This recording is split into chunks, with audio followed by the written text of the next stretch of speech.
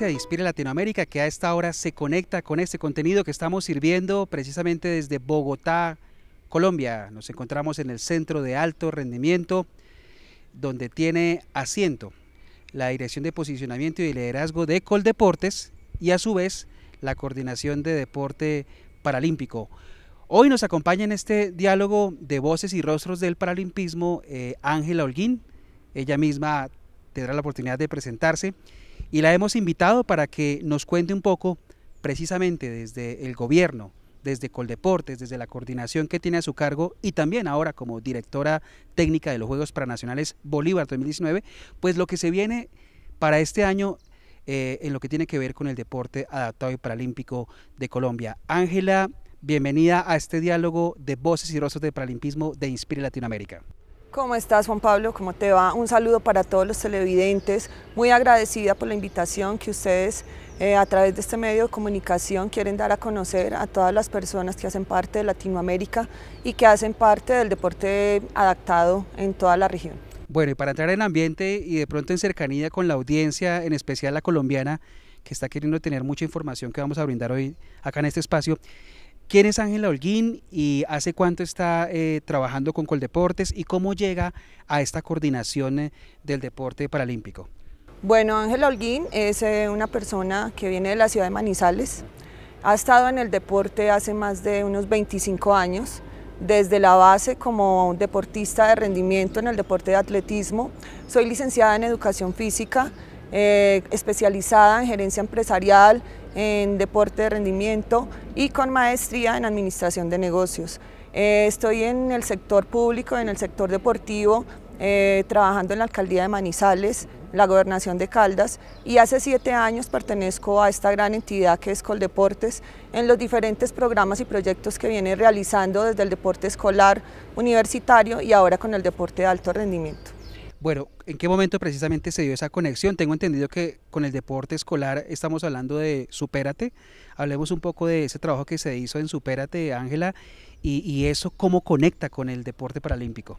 Bueno, eh, Supérate es un programa de talento y reserva, es la base deportiva de nuestro país, es un programa para el sector escolar se trabajan diferentes eh, edades, categorías, eh, tenemos niños desde los 7 hasta los 17 años y es un trabajo muy hermoso porque se hace desde la parte escolar, desde la educación física, desde el aula de clases y es una competencia que se hace sanamente en, todos los escenarios deportivos de los municipios, de los departamentos y de todas las regiones de nuestro país. Es un programa que llega a todos los municipios y que tiene la posibilidad que participen tanto los niños convencionales como los niños del sector paralímpico. Bueno, y hay algo más que agregar que le va a interesar muchísimo a, nuestros seguidores, es que Ángela es deportista, es atleta, hablemos de esa faceta. Bueno, yo fui deportista en atletismo, en atletismo de fondo, tuve la oportunidad de participar también en los Juegos Intercolegiados en esa época, fui campeona nacional de atletismo en las categorías infantil, juvenil y menores y desde allí pues me enamoré del deporte. Mi papá fue ciclista y él fue el que también me vinculó con este proyecto de vida eh, entré a hacer mi licenciatura y desde la parte de la licenciatura vi que podía inclinarme por la parte administrativa porque desde allí es donde se gerencia el deporte, donde se, se miran los recursos y donde se prioriza realmente a qué le vamos a apuntar nosotros desde la base, tanto con los niños en el sector escolar, en la parte universitaria y como país a los altos logros, que es lo que nosotros pretendemos ahora. Estamos hablando con Ángela Holguín, ella es coordinadora de deporte paralímpico desde Coldeportes y también directora técnica de los Juegos Pranacionales. Estamos conectados a esta hora con toda la audiencia que nos está siguiendo aquí en Voces y Rostros del Paralimpismo de Inspire Latinoamérica. Y vamos a entrar en materia con tres temas que vamos a tratar a lo largo de esta conversación. Vamos a hablar del deporte paralímpico y su proyección para 2019, vamos a hablar de los Juegos para Panamericanos Lima 2019 y vamos a hablar de los Juegos Pranacionales 2019 y lo planteo en ese orden ya que cronológicamente pues es como más o menos la línea de tiempo que vamos a seguir. Bueno Ángela, em, en el momento en que se recibe la... Eh, precisémosle a la audiencia cuál es el cargo exacto como coordinadora. Es coordinadora del Grupo de Rendimiento Paralímpico de Coldeportes. en este proyecto, en este grupo interno, nosotros eh, formulamos, proyectamos, gestionamos y hacemos todo lo que tiene que ver con el alto rendimiento en el sector paralímpico. Desde allí se dan las líneas para el tema de, las alianzas estratégicas a través de las contrataciones con todos los eh, personas que hacen parte del sector organizado del sistema paralímpico. Estoy hablando del Comité Paralímpico Colombiano y de las federaciones que hacen parte del sistema. La idea es hacer una alianza con estas entidades para generar mayores espacios de competencia y de participación de los deportistas de alto rendimiento. Bueno, hablemos precisamente de cómo está esa estructura al momento, esa estructura del sistema paralímpico colombiano, recordando que es un comité paralímpico integrado por cinco federaciones. ¿Qué encuentra Ángela al momento de recibir el cargo y, cuál es el estado actual de este sistema? Lo más importante es, eh, es, cómo se recibe, cómo se recibe el cargo en el sentido de las alianzas y de las personas que hacen parte de estas gerencias. Se aceptó muy bien la llegada, eh, y de inmediato empezamos a hacer un trabajo en conjunto con todas estas alianzas y con, con CPC y con las federaciones y Coldeportes para que los tres trabajemos de la mano y prioricemos y sepamos cuál es el camino a seguir y la ruta deportiva que se viene, como tú lo decías, este año, a qué le vamos a apuntar a Lima y cómo vamos a manejar el tema de Tokio 2020 y qué vamos a desarrollar con los Juegos Paranacionales. Entonces lo que yo puedo resaltar en esta llegada al sistema es que se está trabajando de la mano con las entidades que lo requieren y que la prioridad de nosotros y siempre se ha manejado desde la dirección de Coldeportes con el doctor Ernesto Lucena, es que aquí la prioridad son los deportistas, son los atletas y nosotros tenemos que trabajar en pro de ellos y verificando y mirando cuál es realmente el objetivo, para dónde vamos y cuál es la prioridad que nosotros tenemos. Claro, bajo esa premisa de que el objetivo para esta administración de Coldeportes son los atletas, muchos de ellos tienen la inquietud de saber cómo es el estado legal de sus, de sus federaciones, porque muchos de ellos dependen de los avales para participar en eventos eh, nacionales e internacionales. ¿Cuál es el estado legal de cada una de estas federaciones que integran el Comité Paralímpico? Se viene haciendo un ejercicio con cada una de las federaciones. Cuando pues, yo llego a la coordinación, lo primero que pido es una una asesoría a IBC, que es Inspección, Vigilancia y Control de Coldeportes. Ellos me indican cuál es el estado y con, con, ese estado que nosotros encontramos, la idea es acercar a las federaciones que tienen alguna falencia para que vengan y que a través de Coldeportes podamos solucionar esas falencias, porque la idea es que todo el sistema esté articulado para que todos los proyectos que se den desde la parte económica, financiera y desde la parte técnica se puedan llegar a, desarrollar. Entonces, la primera tarea es el, diagnóstico que se hizo y ya estamos trabajando con las federaciones para mejorar algunas situaciones que se tienen. Se puede decir que federaciones en este momento tienen que ponerse al día precisamente para estar en orden con miras a Juegos Pranacionales, Lima. Bueno, de todas las federaciones que encontramos, pues todas vienen desarrollando su trabajo en diferentes aspectos, desde lo técnico, administrativo y financiero. Hay unas que están empezando a dar sus primeros pasos, entonces Coldeporte los está soltando. Hay unas que ya han avanzado mucho y la idea es que podamos estar trabajando con FEDECIR más de la mano que es como donde nosotros vemos donde podemos poner el foco y que trabajados articuladamente con ellos, yo sé que podemos sacar adelante todos esos deportes que ellos tienen. Pero cuando dice FEDECIR es por lo que es la federación más grande, la que abarca más deportes? Sí, es la federación que tiene más deportes, entonces creo que igual todas son importantes, pero esa que tiene mayores deportistas, que tiene mayores deportes, es donde yo creo que nosotros podemos hacer un, mejor acompañamiento para que podamos ir de la mano con ellos. Claro, haciendo pedagogía como es natural siempre en Inspire Latinoamérica, hay que recordar que esta federación es la que abarca deportes como el paracycling, la natación, el rugby en silla de ruedas, baloncesto en silla de ruedas, tiro con arco, todos estos deportes que precisamente como su nombre lo dice, el nombre de la federación incorpora a deportistas con discapacidad física. Me empiezan a resultar inquietudes como por ejemplo el estado de la Federación de Sordos, que ellos siempre han reclamado también protagonismo porque ellos también tienen unos juegos así como hay paralímpicos, hay sordolímpicos. ¿Qué podemos decir en ese sentido, Ángela? No, con, con, la Federación de Sordos el acompañamiento se ha, hizo, se ha hecho constante. Ellos tuvieron su participación en años anteriores en los Juegos Sordolímpicos, uh Coldeportes apoyó esa participación, pero como tú lo sabes, nosotros este año estamos en, en ciclo, ciclo paralímpico y ya se viene Lima. Entonces tenemos que priorizar y esa es la palabra que tenemos ahora, la prioridad y la prioridad en este momento son eh, los Juegos de Lima sin dejar de lado que vamos a apoyar sí a los sordos, eso sí pues lo tenemos dentro de nuestro, nuestra meta. Y, como dice Ángela, en esa priorización de Lima pues hablamos de los deportistas visuales que están claro. inscritos a FEDELIB, eh, ¿cuál otro se me está escapando? FEDPC, deportistas con parálisis cerebral, eh, discapacidad cognitiva, FIDES también, perdón, FEDES, FEDES, FEDES hago la precisión. ¿Tiene algún Claro, este nosotros, nosotros desde la proyección que tenemos y dentro de nuestras líneas de trabajo en el grupo de, de alto rendimiento de Coldeportes desde lo paralímpico, tenemos una de las líneas que se llama apoyo a las federaciones. Ahí que se prioriza el calendario único que ellos tienen, que es como la participación que se tiene a nivel nacional e internacional, y se mira cuál es también la proyección que se tiene a campeonatos mundiales.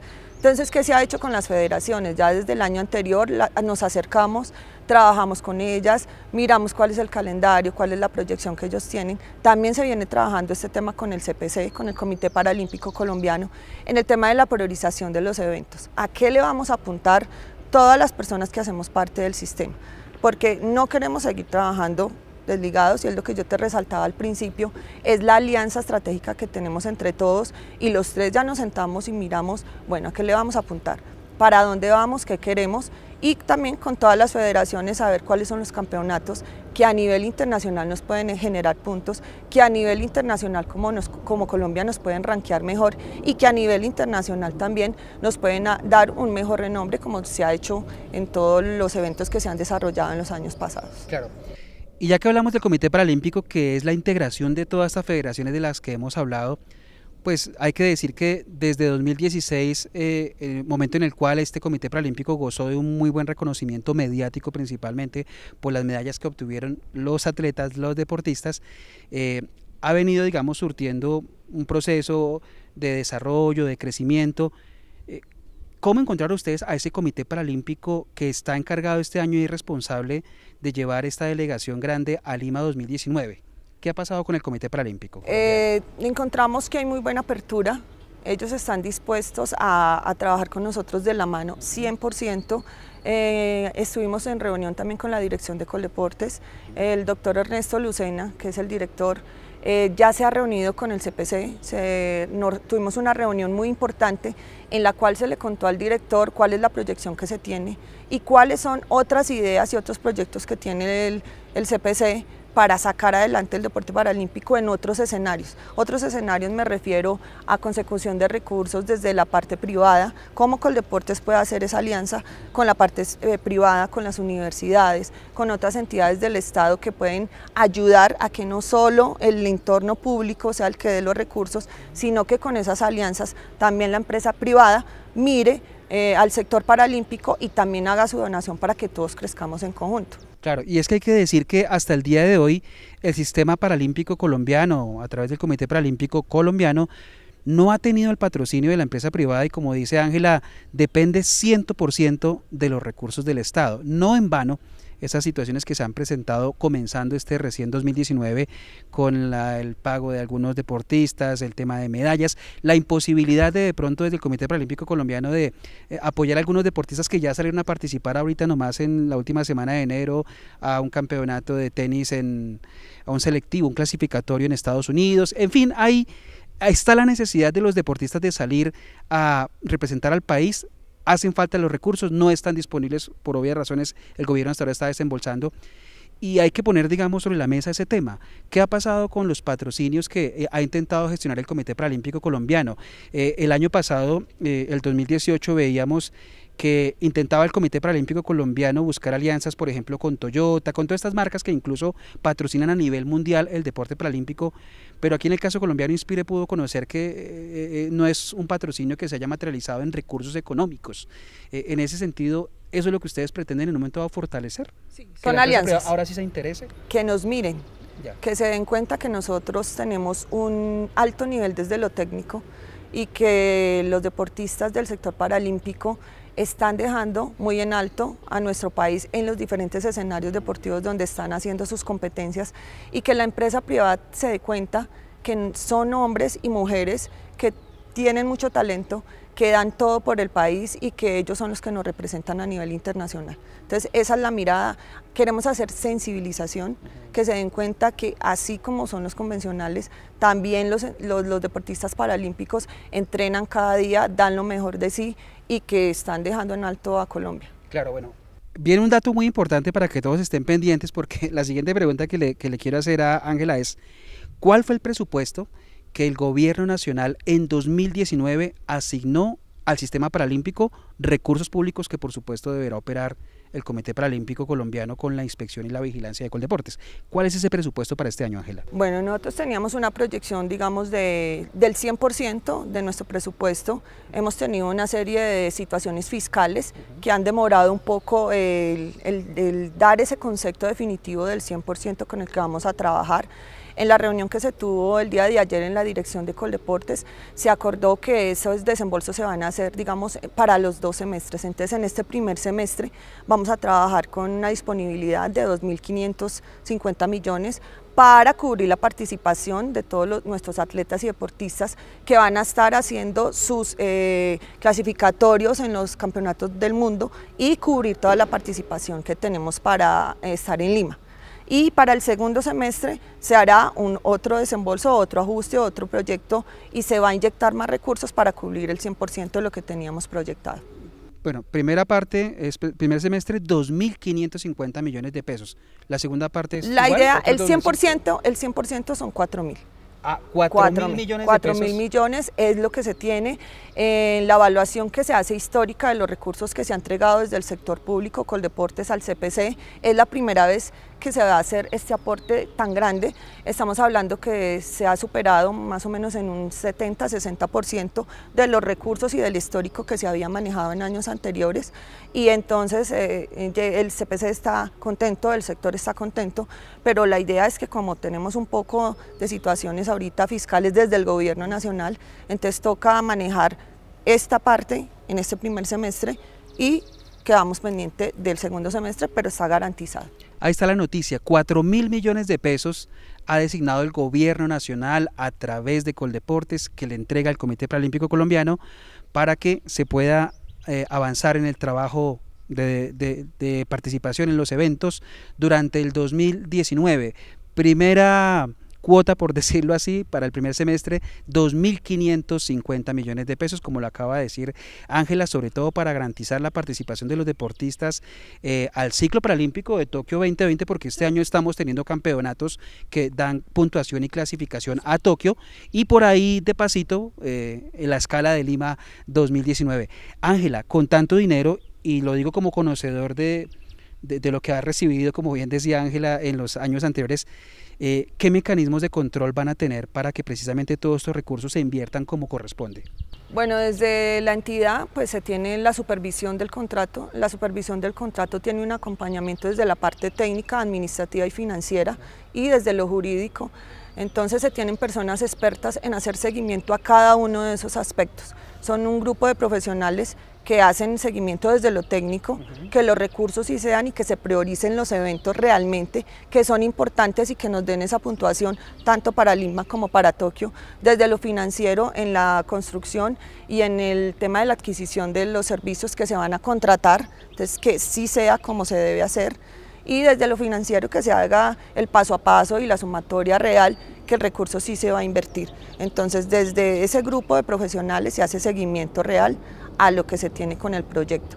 Ya dentro del proyecto se manejan unas líneas que son las que nosotros priorizamos para la participación en los eventos clasificatorios y las priorizaciones a los campeonatos del mundo. Sí, yo pensaría, y, lo digo desde mi foco periodista, de, periodístico, este año el Comité Paralímpico Colombiano no tiene ninguna responsabilidad de organizar eventos open o, si hay en, carrera esto, porque pues esos son los eventos que a veces exigen más recursos.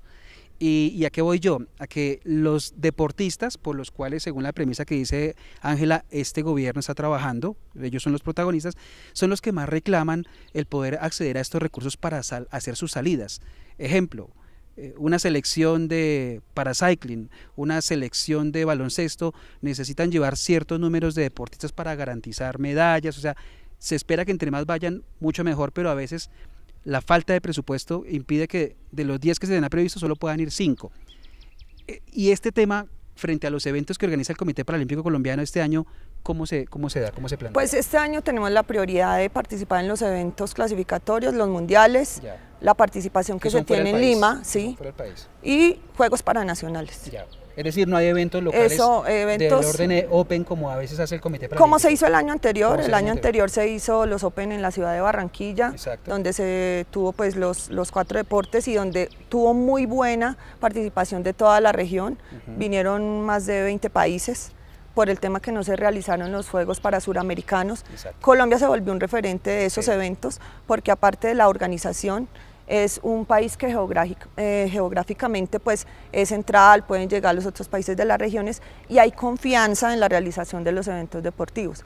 Este año nos vamos a centrar en lo que es eh, alto rendimiento y la línea que pretendemos para llegar a Lima y Tokio. Bueno, el llamado entonces desde Inspire a los deportistas que Pongan atención entonces en este presupuesto, 4 mil millones de pesos 2019 va a ejecutar el Comité Paralímpico Colombiano, operador de unos recursos que son 100% públicos, salvo que pues el Comité Paralímpico empiece a gestionar patrocinios de la empresa privada que pueden llegar a fortalecer esos apoyos de los deportistas.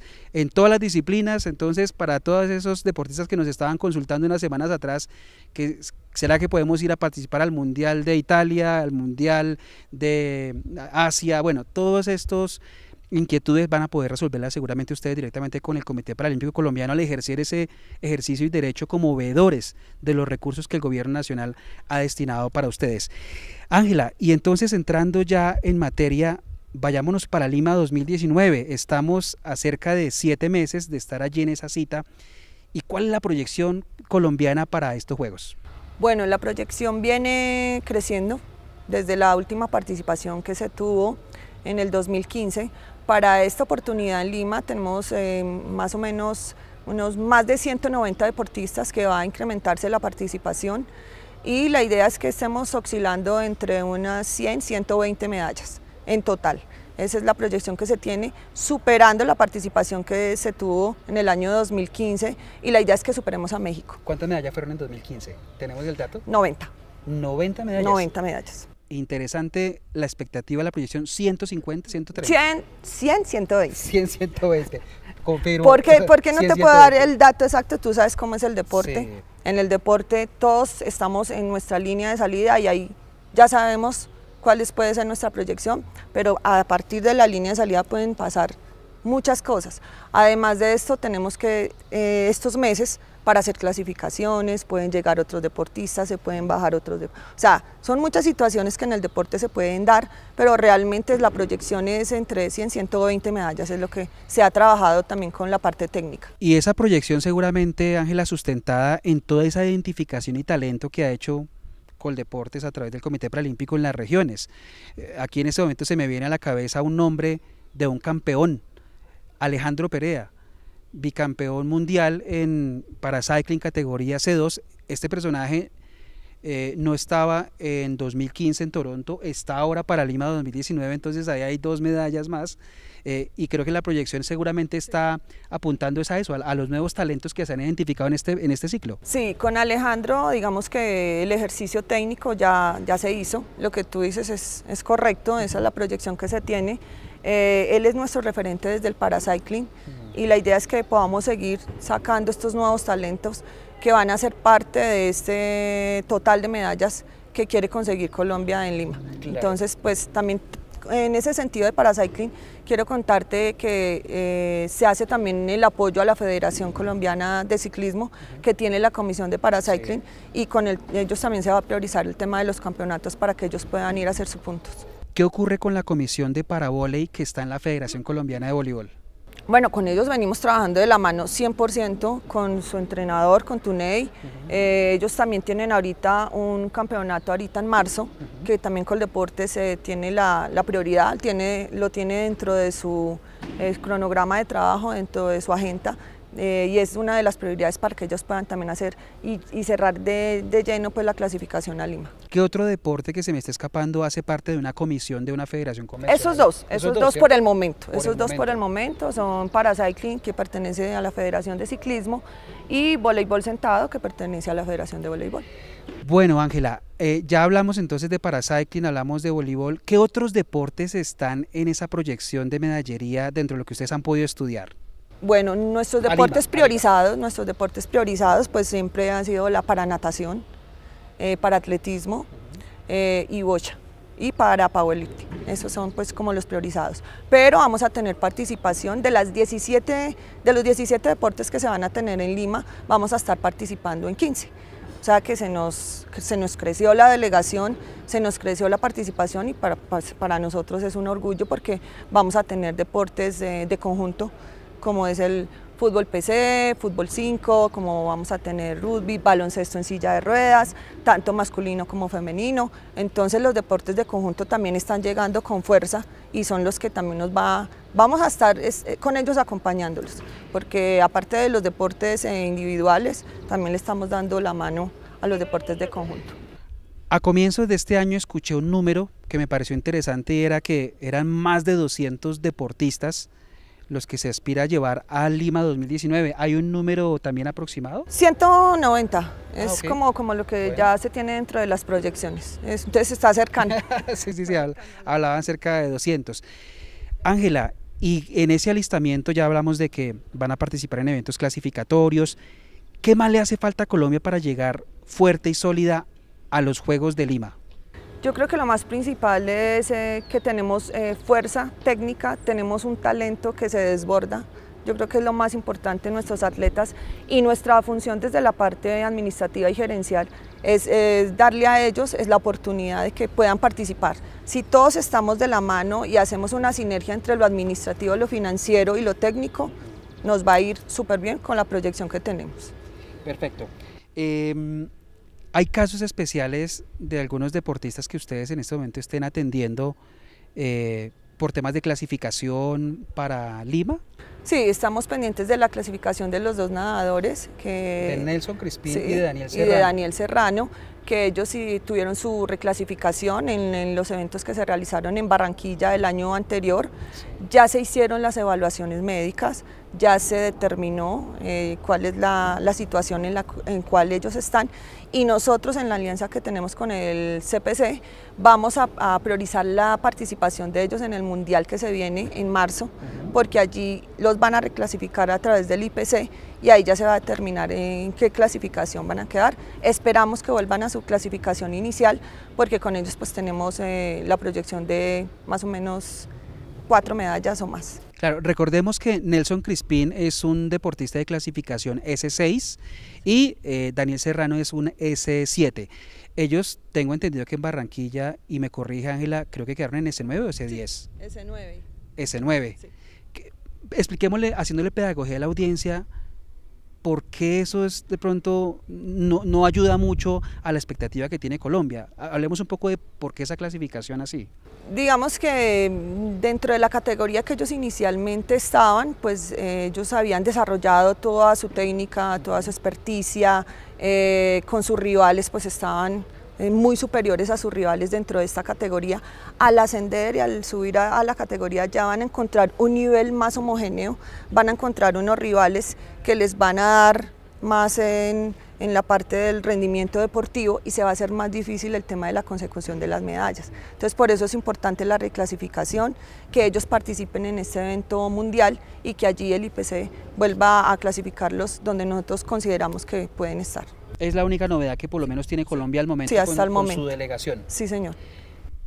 Fundación Ajitos, ellos hacen un trabajo social a nivel mundial, es la fundación del Comité Paralímpico Internacional con programas de desarrollo, de educación, de identificación de talento y, sé que ellos están adelantando una tarea con miras a identificar talentos y a mejorar la proyección del deporte paralímpico, el desarrollo, llamémoslo más bien, con Lima 2019. ¿Qué podemos hablar de eso, Ángela? Sí, nosotros tenemos conocimiento que se viene desarrollando con ellos un proyecto bastante grande, bastante ambicioso. sus marcas listas eh, Sí, es, es un, un, proyecto bastante bueno Eh, la función y el trabajo que viene desarrollando Coldeportes es hacer acompañamiento desde lo técnico.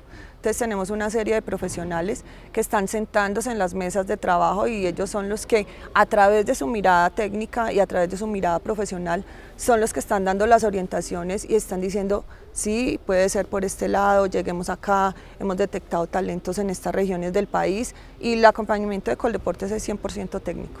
Claro.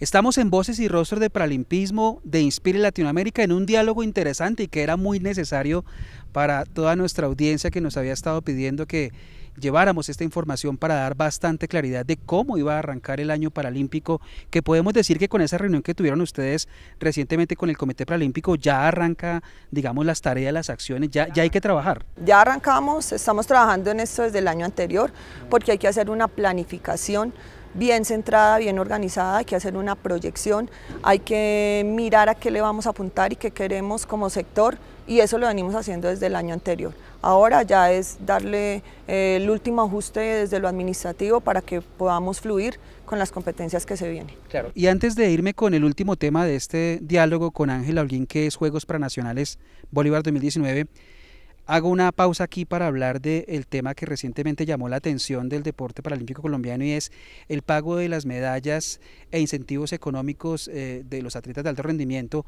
Ese tema en qué va, conocimos a mediados de enero que Coldeportes, eh, en cabeza del doctor eh, Lucena, habían adquirido un compromiso de, por una parte, los salarios que estaban pendientes, creo que de diciembre, ahora enero, y también el tema de las medallas ganadas en 2017 en diferentes campeonatos mundiales que sean parte del ciclo paralímpico, que hacen parte del ciclo paralímpico, también iban a tener ese compromiso de pago. ¿Ese tema en qué va, Ángela? Bueno, vamos bien. Eh, el tema es que se empezó con un poco de, demora, digamos, por el tema de que teníamos un reajuste en la parte fiscal.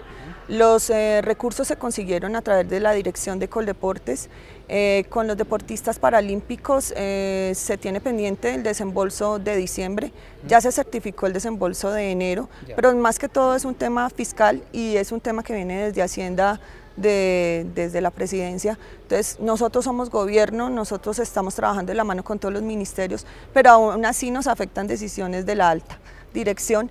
Entonces estamos ajustando, pero los recursos ya están garantizados. Se puede demorar un poco el desembolso, pero como te digo, ya están certificados esos desembolsos.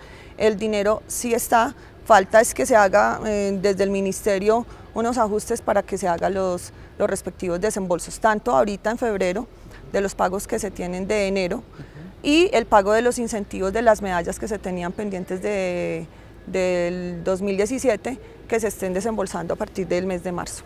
Y tengo entendido que ese pago de esos incentivos de las medallas va a ser en dos cuotas.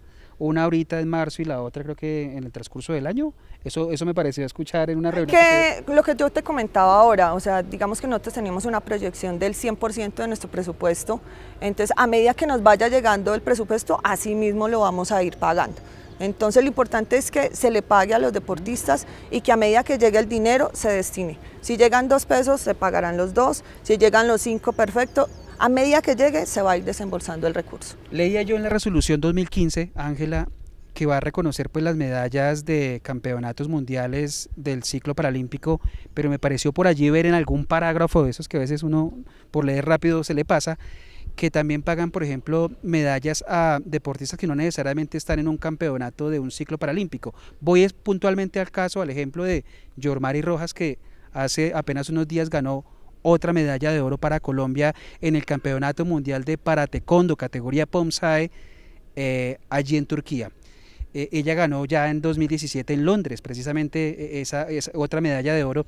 Ella ella puede participar, digamos, de esos incentivos? Eh, con relación a, bueno, sí, los incentivos, digamos que se pagan tanto a los deportistas que han obtenido las medallas dentro del ciclo paralímpico y que han sido campeones del mundo. No quiere decir esto que todos pueden llegar allí, porque pues este, este hay diferentes eh, situaciones que se pueden presentar.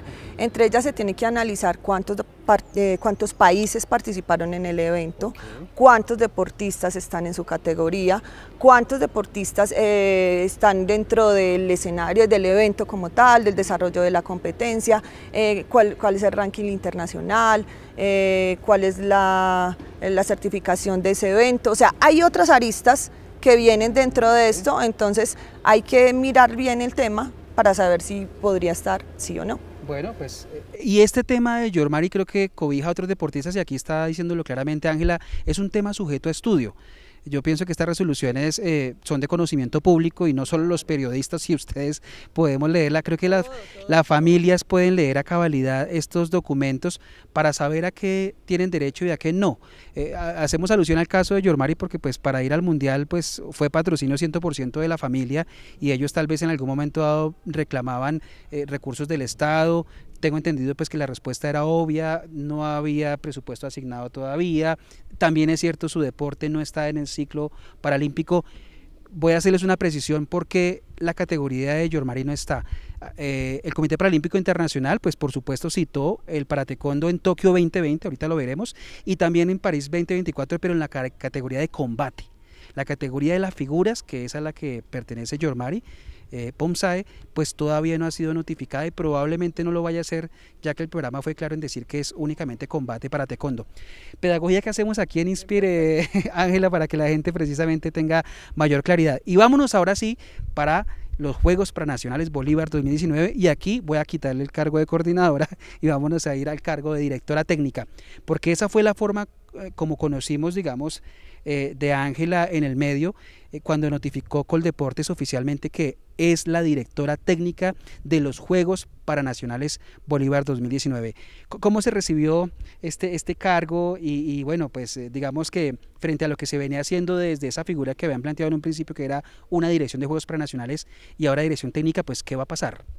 Bueno, primero que todo, pues es agradecerle al doctor Ernesto Lucena director de Coldeportes, y al doctor Miguel Acevedo, que es el director de posicionamiento y liderazgo, por confiar en mí, por permitirme hacer parte de este gran proyecto, porque los Juegos Paranacionales eh, son una gran estructura, estamos a la par con los Juegos Nacionales y la idea es que podamos trabajar de la mano en las dos coordinaciones. Se tiene una coordinación general que está en cabeza de Cecilia Baena y se tienen dos direcciones técnicas, una para el deporte convencional y otra para el sector paralímpico. Se asume con mucha responsabilidad, con mucho amor por lo que se viene a desarrollar y se está trabajando de la mano desde la parte técnica con las personas que, que venían en, algunos aspectos trabajando desde diferentes escenarios, CPC, federaciones, Coldeportes, en una alianza entre los tres para que podamos sacar adelante los Juegos Paranacionales. Es un gran reto para mí y desde los conocimientos técnicos y administrativos que poseo, eh, espero que todo salga bien y como lo pretendemos desde la administración. Hablábamos off the record que precisamente por ese trabajo que seguramente Ángela desarrolló eh, al frente de Juegos Superati, pues Juegos Superati que estamos hablando de, me decía, 7 mil deportistas. 7, en la final nacional. Es un número, y en Paranacional estamos hablando como de 4 mil, 3 mil, creo. Mm, estamos hablando de 3.500. 3.500, claro, ahí hay una experiencia que seguramente Coldeportes quiere poner ahora en la dirección técnica. Entonces, a ver si entiendo cómo quedó la estructura. Dirección de Juegos Nacionales, Dirección General, eh, Cecilia Baena, es decir, es la directora de ambos juegos nacionales y pranacionales. Eh, los nacionales tienen su dirección técnica y los pranacionales que es la dirección técnica que tiene que tiene Ángela y por debajo pues todas las entidades. Y vienen todos los coordinadores por federación, todos los coordinadores técnicos, la secretaría técnica y todas las personas que van a ser parte de todo de este de este de esa gran pirámide, porque esto es una gran pirámide. Claro, y es momento para que hablemos un poco de la promoción de estos juegos eh, para que la gente entienda un poco la diferencia entre nacionales y pranacionales. Y es que aquí sí vamos a encontrar deportistas físicos, visuales, sordos. Eh, entonces, ¿cómo es ese trabajo de las discapacidades para estos Juegos Bueno, eh, la idea es que tengamos 22, de 22 deportes y 30 disciplinas deportivas donde van a estar vinculadas todas las discapacidades que, que hacen parte del programa.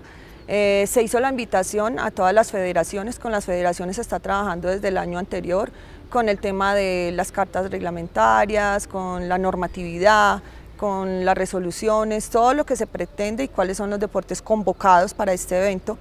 La idea es que en Bolívar nosotros podamos darle un evento de alto nivel al sector, donde ellos se sientan incluidos y donde su participación sea tan importante como unos juegos dentro del ciclo. Entonces la idea es que podamos trabajar de la mano tanto con el de la región, con el departamento, con Bolívar, con Cartagena, para que todos los escenarios pues, puedan albergar la buena participación y que se dé una alta competencia con ellos. ¿Cuántos departamentos deben participar en esos pranacionales, Ángel? Pues están convocados los 32. Sí. Sí, están convocados todos los departamentos, fuerzas militares, los que puedan llegar. De pronto algunos departamentos de la región de la Orinoquía, que mm. podemos tener algunas situaciones con ellos, pero la mayoría de los departamentos del país ya ha presentado su intención de participar y con ellos pues nos vamos ese sector, de, e, ese, perdón, el tema de clasificar deportivamente en las regiones, ¿eso lo supervisa esta dirección técnica? Sí, eh, nosotros estamos acompañando y también la coordinación de deporte paralímpico. Ahí la importancia de tener las dos eh, acciones, tanto el grupo de trabajo de deporte paralímpico como la dirección técnica de los Juegos, porque nosotros también desde la coordinación de Paralímpico somos veedores de la realización de los eventos prejuegos a través de el apoyo que se hace a las federaciones. Y la idea es que con paranacionales pues podamos unificar estas dos estructuras y que podamos eh, ser garantes que los eventos sí se están llevando a cabo desde lo técnico y desde el tema de la estructura de los escenarios para que cuando se llegue al final, al evento final que es en el mes de noviembre-diciembre, pues se, se, garanticen como se debe hacer. Claro. En este segmento de Voces y Rostros de Paralimpismo me acompaña Ángela Holguín, ahora como directora técnica de los Juegos Paranacionales Bolívar 2019. Ángela, la Carta Fundamental no tuvo ninguna, ningún cambio.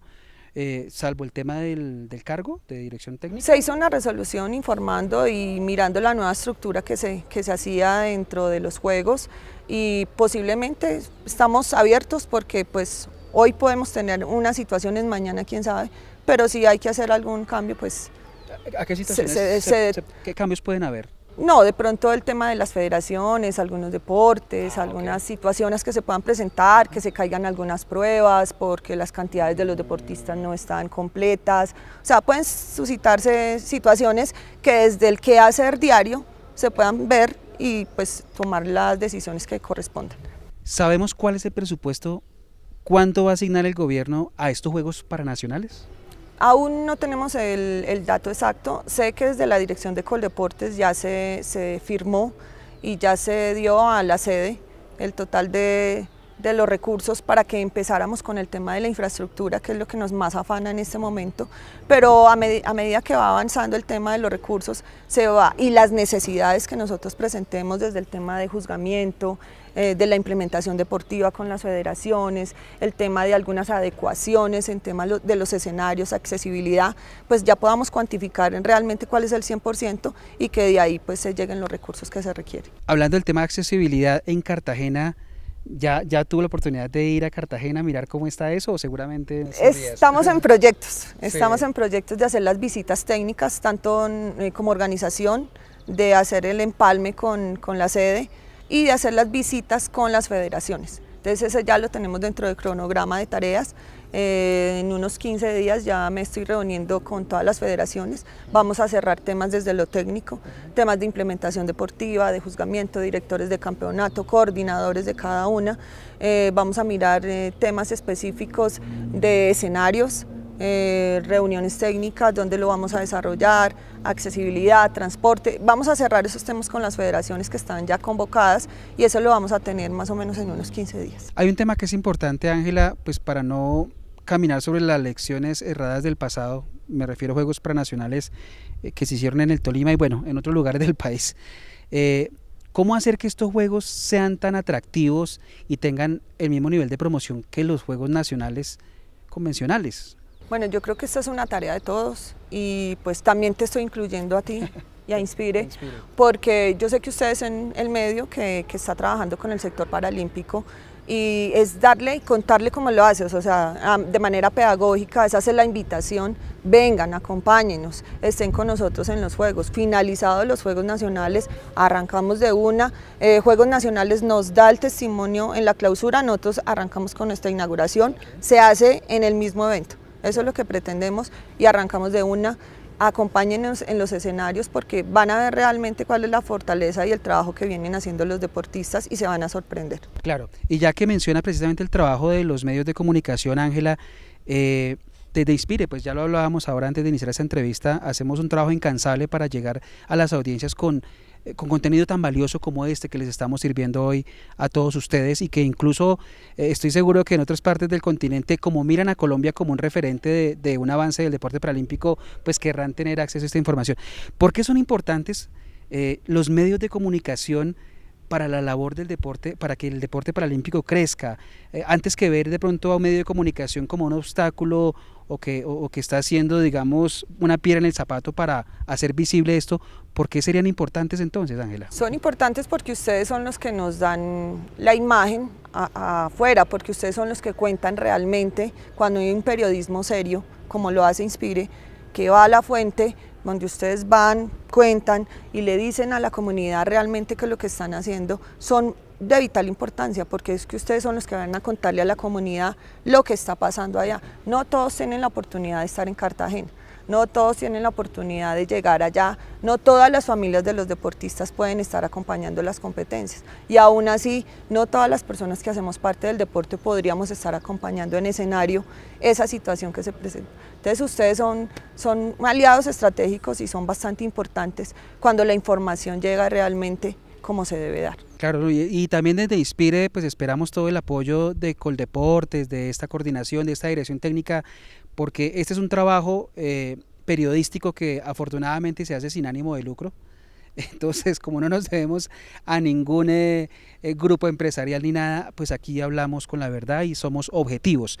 Y en ese, en ese tema, pues también agradecer a ustedes este espacio que nos han brindado Ángela hoy para poder conocer de manera, de la manera más abierta, sin, sin, sin esconder cosas, todo lo que va a pasar en materia del deporte adaptado y paralímpico. Una de las últimas inquietudes para cerrar este espacio, ¿cómo hacen los deportistas para tener un canal directo con ustedes? con el Coldeportes, eh, la coordinación, la oficina de posicionamiento, porque pues ellos, claro, hablan con sus ligas, con sus federaciones, posteriormente Comité Paralímpico Colombiano, y cuando no se resuelven algunas de esas inquietudes, ¿cómo llegar a esta coordinación de desarrollo paralímpico, Ángela? Tengo claro que como funcionaria soy pública, entonces en ese sentido todos pueden llegar como a través de los diferentes medios, correos electrónicos, teléfonos, las personas que se encuentran en Bogotá saben que aquí en el Centro de Alto Rendimiento hay un espacio donde se les puede escuchar, se puede trabajar con ellos y todas las inquietudes que tengan son recibidas, ya es mirar la viabilidad de ella y la pertinencia de la misma y si no es posible desde acá pues se darán las direcciones y se eh, eh, se invita a que las regiones trabajen con ellos de la mano, pero desde nosotros siempre habrá un conducto abierto para trabajar con ellos. ¿Y cuál es el mensaje para toda la comunidad que sigue el deporte adaptado y paralímpico en Colombia? Ángela, sabiendo ya todas estas buenas noticias que, que, nos ha entregado en este diálogo para 2019, eh, ¿qué decirle a todos esos seguidores que están aquí pendientes? Pues a todos que se enamoren del sector paralímpico, que es un, algo hermoso, el que llega se queda y que entre todos podemos hacer que este deporte crezca cada día desde su donación, desde su apoyo y que valoremos mucho a los deportistas porque ellos son los que ponen la cara por nosotros ante el mundo. Ángela, estos espacios vamos a tenerlos con frecuencia. Afortunadamente hay un canal también de comunicación para coordinar estas entrevistas y aquí vamos a estar, digamos, cada vez que ustedes nos lo permitan o nos inviten para poder transmitir estas buenas noticias, buenas o lo que tenga que ver en un momento dado que sea de interés para la audiencia. Muchas gracias Juan Pablo, a ti, a todo el equipo de producción.